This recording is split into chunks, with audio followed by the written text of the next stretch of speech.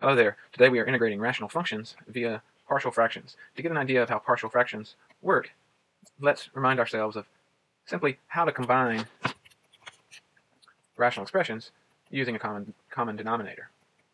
So here we have these two rational expressions. If we want to combine them, we find a common denominator, multiply each expression by the form of 1 required to create a denominator in each term that's common to them both, and what do we get? Well, we get x squared minus 1 for multiplying these two, and this side gives me plus x, and all of this is over x times x plus 1. So we might write this maybe a little cleaner as um, x squared plus 1 as the denominator underneath x squared plus x minus 1. Okay, now the way this will impact your life is as follows. What if I asked you to integrate this little guy here?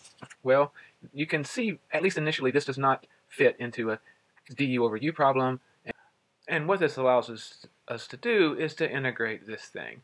Now, splitting this up may in, in, into other pieces may in general be difficult, and this method of partial fractions will allow us to integrate this thing by going backwards. One way you could do it is to realize that this expression actually equals the original expression's x minus 1 over x plus 1 over x plus 1. Now these expressions are very easy to integrate. And so what partial fractions allows you to do is to take a given rational expression, decompose it into these smaller pieces, and these smaller pieces are more simple to integrate. Now, the way, now standard form for the rational expression f of x is as a polynomial p of x over a polynomial q of x, and the degree of p is less than the degree of q. Now, if this is not the case, then we'll use long division to put it into standard form. So, for this expression, for example, we would simply take x squared plus 1, divide it into x squared plus x minus 1, and x squared goes into x squared, well, one time, and then we get x squared plus 1. And then when we subtract terms, we get these two terms cancel. Um, this is, and we get x, negative x, minus 2, because when we distribute this negative, this cancels, and this negative makes this negative, and negative 1 and negative 1 give us negative 2. So what this means is our x squared plus x minus 1 over x squared plus 1, well, this equals just the number 1 minus, I'm going to factor out this minus, an x plus 2 over x squared plus x minus 1. Now, this is the standard form. The first will be the integral of 7x minus 8 over x squared plus 2x minus 8. So suppose we want to integrate this rational function. But to decompose it into a sum of more simple pieces, this is what we're going to do. So first, we're going to take the 7x minus 8 over x squared plus 2x minus 8, and we're simply going to factor the denominator. So if you factor this denominator, you'll get x plus 4 and x minus 2. Now, what we're going to do next is observe that the denominator factors into 2, or at least, yes, the fact it, it factors into two distinct linear terms. And that's what's important about method number one, is that there are distinct linear terms composing your denominator. Well, if that happens, then we simply are going to write this as a over x plus 4 and a is some unknown expression that we are going to find, over, I mean, plus b times x minus 2. Now all we have to do is multiply both sides of the equation by the common denominator. So we want to just clear out these denominators. So if we multiply both sides by this term, well, what we're going to get then is that 7x minus 8 has to equal a times x minus 2, because this term, multiplied by the green guy, these x plus 4's cancel. And so then when we multiply b over x minus 2 times this, the x minus 2's cancel, and we're just left with x plus 4. So then we multiply this through, and we have ax minus 2a plus bx plus 4b. Now this all has to add up to give me 7x minus 8. So what this tells us then is that, well, this ax and bx, they are, these are just numbers these, or, or, or, or expressions, and these can be factored out. So you add them together, and then factor the x out, and you get a plus b times x. And then minus 2a plus 4b just simply goes over here. And then what you'll notice then is that, well, a plus b has to equal 7, and then um, negative 2a plus 4b has to equal negative 8. And so let's write those equations down. So a plus b has to equal 7, and then negative 2a plus 4b has to equal negative 8. well, then this tells me that a is 7 minus b, and so I have to take this and substitute it in, and I have negative 2 times 7 minus b plus 4b. Now that has to equal negative 8, but what that really is equal to is four, negative 14 plus 2b, and then add on this other 4b here. This is 6b minus 14. Now again, this has to equal negative 8. And so, my 6b has to equal 14 and 8 make that 6. 14 and negative 8, yes, 14 subtract 8 is 6, and so that b is then equal to 1. Well, then I go back up here and say, well, a plus b is equal to 7, and so a must equal to 6. And so what this has done for me is it's allowing me to evaluate this integral, which I might not know how to do otherwise, or it might be easier to do it this way than some other way. So I'm just going to evaluate this integral as, I'm going to rewrite this integrand as 6 over x plus 4. Now, where is this coming from? This is coming from this decomposition here.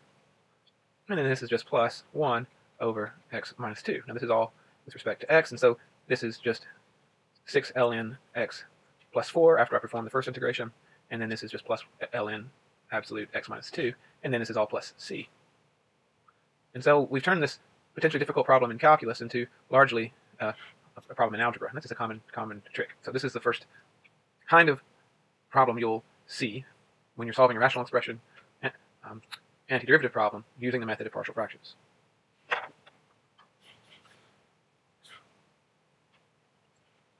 Okay, the other kind of idea, or the other kind of rational expression that you might see is one that is the integrand of a problem like this. So we have x squared minus 3x plus 1, all divided by x squared plus, times x plus 1.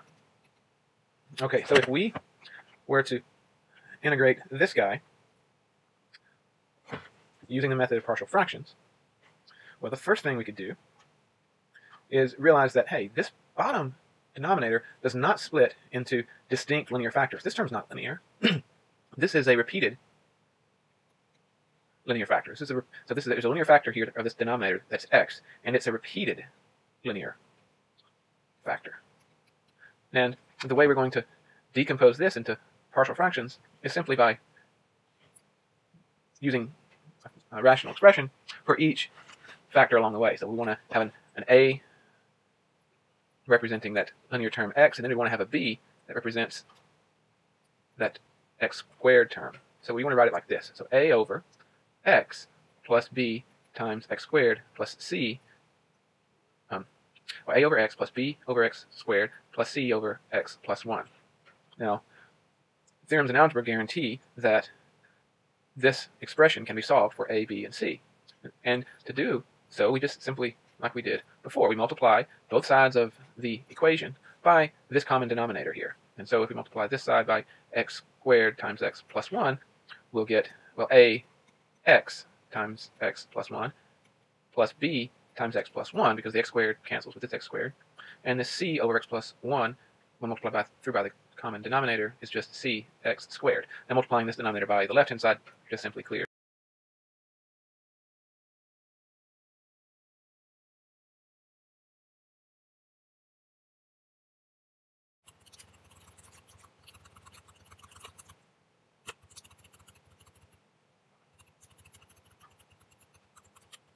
Okay, so now I collect terms, and I have a plus c x squared plus a plus b x plus b. This has to equal x squared minus 3x plus 1. So this tells me, well, that b has to equal 1, and a plus c has to equal 1, and a plus b have to equal negative 3. So I can substitute this b in here, and so a is equal to a, a is equal to 1, a is equal to negative 3 minus 1, so that's negative 4.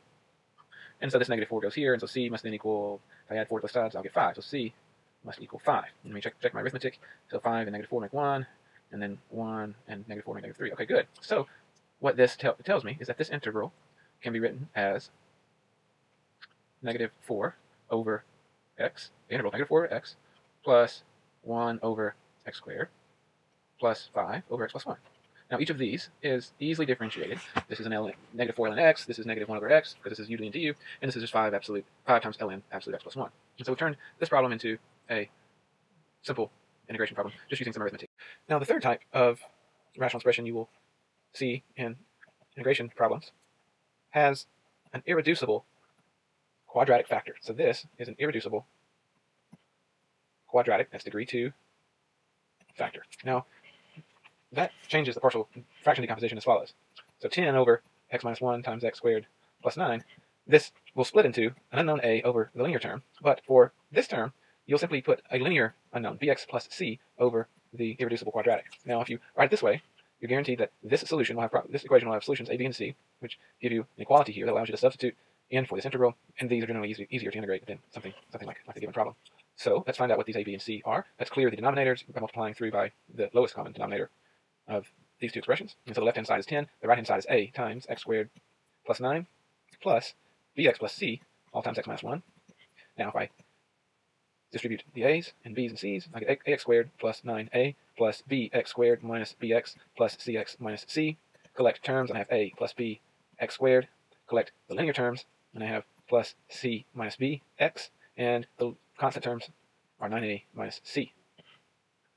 Okay, now this tells me then that a plus b has to equal 0. There's no x squared term on the left-hand side, so a has to be the opposite of b. But there's no linear term either, so c minus b has to equal 0. So in other words, c has to equal on the nose b. Well, I guess that tells me then that a is equal to negative c as well. And this last one will tell me everything I need to know. So 9a minus c is equal to 10. That's the same thing as saying 9a plus a is equal to 10, and this tells me then that a is 1. Substitute back in, and I get b is negative 1, and c is negative 1 as well. So, to integrate this problem, we could simply integrate 1 over x minus 1 plus negative x minus 1 over x squared plus 9. Take your negative, factor that out. That will leave you with x plus 1 on the top. Clean this up a bit. There we go. All right. That looks good. So, now to integrate this, this guy is just ln of absolute x minus 1. Now this guy, let's write it as the integral of x plus 9, x squared plus 9, excuse me, um, check.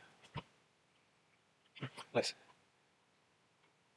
write this as the sum of two integrals. One is x over x squared plus 9 dx, and the other is the integral of minus the integral of 1 over x squared plus 9 dx. And this guy is a u to the n du problem because, well, u is x squared plus 9, du is 2x. And so this guy is just negative ln absolute negative 2 ln absolute x squared plus 9. I guess it's dx there, forgot that. And this one is just arc, is an arctan, and we can see that as follows. Remember, this x squared plus 9, you can substitute x is equal to tangent theta. Actually, first. In this integral, we can see it's an arctangent uh, as follows. First, I recommend factoring out a 9 from the bottom and getting x, factoring out a 9 from the bottom and getting x squared over 9 plus 1, all under 1 dx. So this negative, this 9 on the bottom comes out in front. And now we just have dx over x squared over 9. But if I can make the substitution u is equal to x over 3, then, well, du is equal to 1 third dx. In other words, dx is equal to 3 du. And then x is, then u squared plus 1 is equal to exactly what I have here. So then this becomes 3 du over u squared plus 1. So the 3 comes out in front and makes this a negative 1 third. So this is negative 1 third arctan of u, but that arctan, that u is x over 3, so this is just arctangent of x over 3. Alrighty. And so the sum of these three terms is the integral of this little puppy here. Alright, that's it.